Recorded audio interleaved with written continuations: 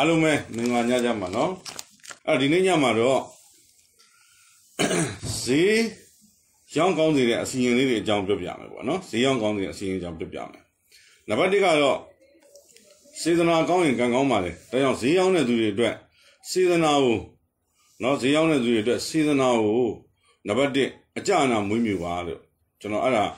ဂမ်ဘီယာအရာတိုက်တွန်းချင်ပါတယ်ပေါ့နော်အဲမိတ်ဆွေတွေကိုအဲတကယ်အရေးကြီးတဲ့စကားတွေတိုက်တွန်းချင်ပါတယ် ဥမာဆိုပါစို့ကိုကပစ္စည်းတစ်ခုထုတ်လုပ်ပြီးရောင်းတယ်ပေါ့မိသားသုံးဆွဲရတာကျင်တတ်အောင်ငွေကြေးနဲ့ကိုဒါနော်ဘယ်လိုပြောလဲဟိုသူတို့အတွက်စိတ်ချမ်းသာအောင်ပေါ့နော်အဓိကတော့ကိုယ့်ရဲ့ဖောက်တယ်ပေါ့ကိုယ့်ရဲ့ပေးသက်ပေါ့ပေးသက်ပေါ့ကိုစေတနာတစ်ခုအရင်ပြုပြီးတော့ဆောင်ရွက်မယ်ဆိုရင်ဈေးရောက်တဲ့လုပ်တွေမှာတကယ်အကျိုးထူးပါတယ် ကျွန်တော်တကယ်အကျိုးထူးပါတယ်နော်အဲ့တော့စေတနာနဲ့ထားရင်မေတ္တာနဲ့ထားရင်အစီရင်လေးတွေအကြောင်းပြောပြပေးမယ်နော်နံပါတ်1ကတော့မြည်သည့်ဆိုင်မြည်သည့်အမျိုးအစားမဆိုနော်မြည်သည့်ဆိုင်မြည်သည့်အမျိုးအစားမဆိုဘယ်သူဆိုင်မဆိုရှေ့မှာပေးသက်ရက်တဲ့နေရာဈေးရပြီးဝယ်တဲ့နေရာဒါမှမဟုတ်ဝင်ပေါက်စားသောက်ဆိုင်ဆိုဝင်ပေါက်ရွှေဆိုင်ဆိုဝင်ပေါက်နောက်တစ်ခုကပေးသက်ရက်ပြီးတော့ဝယ်တဲ့နေရာပေးသက်ရောက်လာနိုင်တဲ့နေရာ အဲ့လိုရောက်လာနိုင်တဲ့နေရာကိုတကြားတစွန်းတကြားစွန်းဆိုအများကြီးမဟုတ်ဘူးလက်ဖက်ရည်စွန်းလေးလက်ဖက်ရည်မွေတဲ့ဇွန်းလေးသေးနဲ့တကြားတစွန်းကိုလက်တက်ထက်ထည့်ပြီးစုပ်ရတယ်စုပ်ပြီးတော့ဤဆိုင်ကိုဈေးလာဝယ်မဲ့လူတွေအမြန်ရောက်လာပါစေစီကားပါစေတိကြပါစေကြားကြပါစေဆိုပြီးတော့အဲ့ဒီဟိုဟာကိုဟိုဆိုင်ရှိကိုတကြားကိုအပုံမြောက်ကျဲပလိုက်ရတယ်တရားမုံလေးတွေရှေ့ကျသွားလိမ့်မယ်နော်အဲ့လိုကျဲရင်နံပါတ်1အနေနဲ့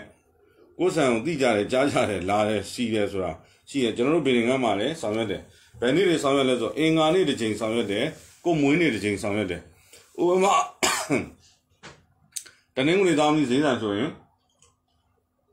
ဆိုင်နိုင်တာဆိုတနင်္ဂနွေနေ့တစ်နေ့အင်္ဂါနေ့တစ်နေ့အဲတနင်္လာသားသမီးဆိုင်တိုင်းတာဆိုရင်တင်းနာနေ့တစ်အင်္ဂါနေ့တစ်နေ့ကျဲကြည့်သမှာ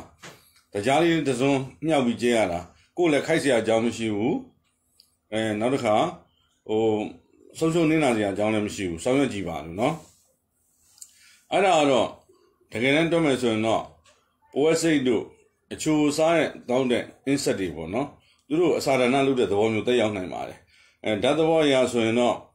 အဲသိအောင်ကြားအောင်တရားဆိုတဲ့ဓာတ်အမိပြည့်ညက်ကိုသုံးထားတယ်လို့အဓိပ္ပာယ်ရှိမယ်ပေါ့နော်ဒါကြောင့်မလို့မြည်သူမဆိုဆောင်ရွက်လို့ရတယ်မခိုက်เสียအောင်အဲ့ဒါကျင်းလိုက်လို့ကျမဆိုင်လက်ပိတ်သွားမပိတ်เสียပါဘူး ကျမဆိုင်ကျွန်တော်ဆိုင်ခိုက်သွားမလားမခိုက်เสียပါဘူးเนาะအဲ့တော့ဈေးရောက်တဲ့သူမှလုပ်လို့ရတဲ့အစီရင်เนาะဈေးရောက်တဲ့သူမှလုပ်လို့ရတဲ့အစီရင်အဲ့တော့ကြားလေးတစ်စုံလက်ပိတ်စုံစုံလက်တက်တဲ့လက်နဲ့ဆုပ်ဆုပ်ပြီးကိုယ်ဆိုင်ရှိမှအပေါ်မြောက်ပြီးတော့ကဲ